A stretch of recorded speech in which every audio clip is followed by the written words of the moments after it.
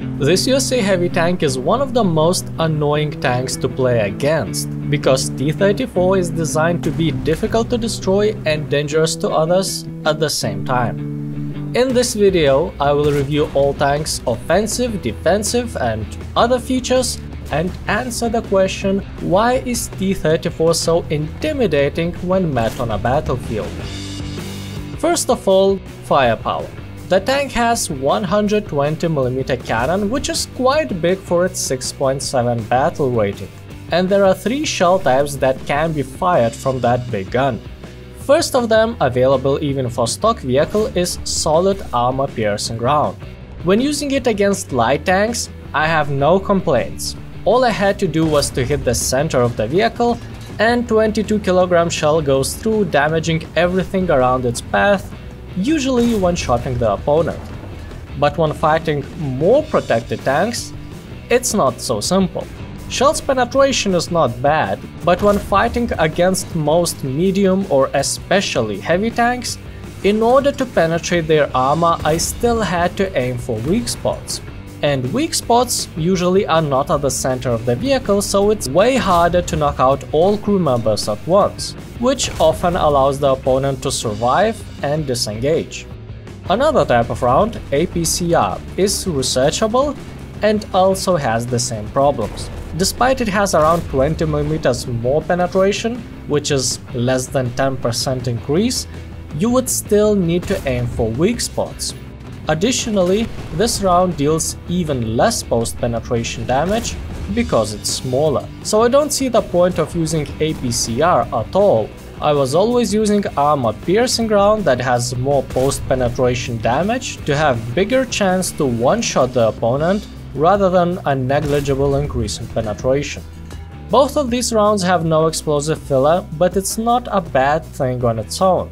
The main firepower problem of T-34 is that in addition to these rounds' little damage, it has a relatively long reload which doesn't allow you to finish the opponent with a follow-up shot. With Aced Crew, the cannon is reloaded in almost 15 seconds. That is one of the longest reloads amongst most tanks you will be facing.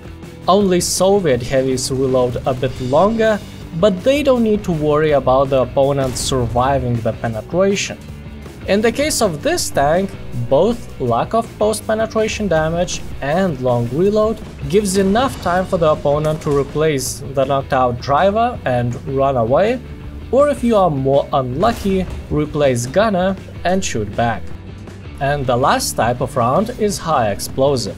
I never used it because long cannons reload makes switching between ammunition types impractical and it has a relatively small amount of explosives, so the round is only effective against very light vehicles. For majority of such light vehicles you don't even need the main cannon, because this tank has 3 machine guns, 2 coaxial, 1 on top, and all of them are high caliber so a stream of bullets quickly destroys every vehicle they can penetrate.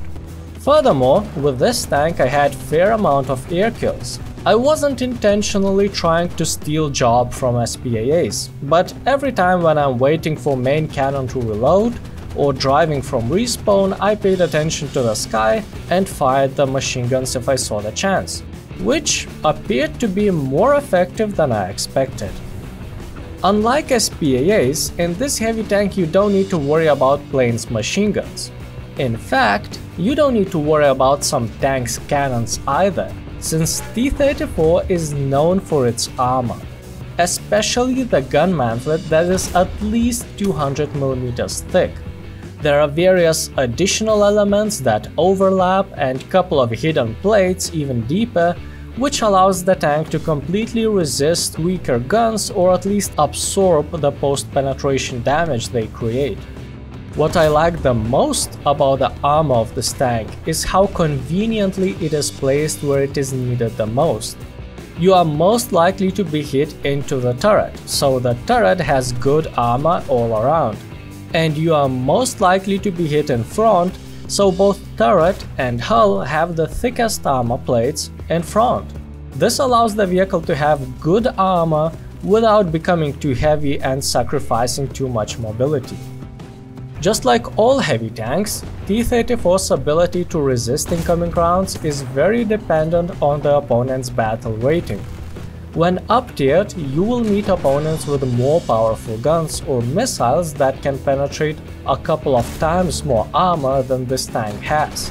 But it's not as bad as it sounds because it can be very hard to destroy T-34 even if the opponent can penetrate it. Because the crew members are spread very well inside a quite a big tank. There are 6 of them at different sides of the hull and different heights. By the way, how do you call a commander that is positioned higher than everyone else? Come above? As a general rule, APHE rounds that could one-shot this tank cannot penetrate it, and various missiles and heat rounds, despite being able to penetrate, don't have enough post-penetration damage, so the survivability of T-34 is great. When it comes to mobility, this vehicle, as expected for heavy tanks, is relatively slow. The maximum speed is only 35 kph, but as mentioned before, because of smart armor placement, it's not too heavy so it can accelerate pretty well. You will be able to reach its maximum speed quite fast, even off-roads, on snow and sand maps, as long as you move on a flat terrain in a straight line. Reverse is good, 13 kph. That was useful because I was reversing quite often. A long cannon's reload gives enough time to drive back and completely hide behind cover until I am able to shoot again.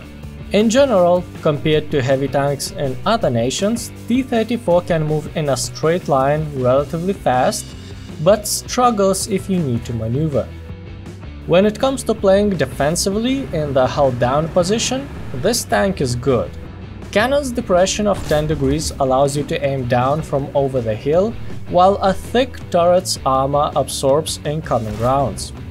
The only way to get killed this way is ammo rack detonation or after multiple penetrations when you eventually run out of crew members. In arcade, the first thing you'll notice is that there are a lot of heavy tanks and almost no light tanks. So no more easy one-shots by aiming at the center of a tank, since you will need to aim for weak spots most of the time. That results in having to shoot the same opponent multiple times in order to destroy it, or what's more likely, getting an assist before you even finish loading another round. Also T-34 has higher battle rating in arcade, 7.0, so you will meet more opponents that are able to penetrate your armor Additionally, aiming cross is helping them to find your weak spots, so tank's armor becomes less effective in arcade. On a good note, T-34 becomes more mobile and feels more like a medium tank with good armor, but this applies to all heavy tanks anyway, including those in the opponent team. So in general, the tank becomes slightly worse in arcade, as issues with post-penetration damage become more prominent. T-34 is a tank with amazing survivability no matter what kind of opponents you are fighting against. It's totally normal to be critically damaged and still survive, because it sometimes takes so long for opponents to destroy T-34 completely that your allies have enough time to come and save you. That's why it's so intimidating to fight against this tank. There is a high probability that someone will kill the attacker itself before it has enough time to kill the T-34. At the same time, this tank lacks post-penetration damage and has a long reload, so it takes a while to destroy something as well. This tank kills slowly, but dies even slower. I would rate this tank 5 and a half and a half additional armor plates on the back of a turret out of 10. It's great for people who like slow defensive gameplay, especially when hiding behind a hill, but still want to have enough mobility and survivability to be able to push forward and fight for capture points when needed.